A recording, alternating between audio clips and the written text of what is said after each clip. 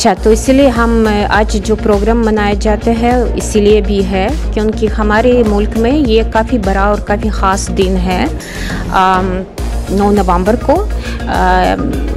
ज़ुबान यूम है। अ, हम लोग ऐसे मानते हैं कि ज़ुबान ये मुल्क का दिल है और इसीलिए हम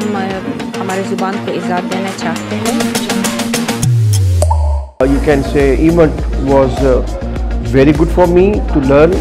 that how how much Ukrainians are working to bridge themselves with Pakistan and today they celebrated their national literature day with uh, in reference to the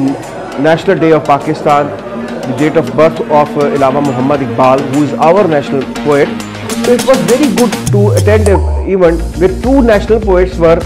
uh, having a comparative study. For example, we have a Taras uh, Shevchenko, who is the national poet of uh, Ukraine, and then we discuss uh, Allama Muhammad Iqbal, who is national poet of Pakistan.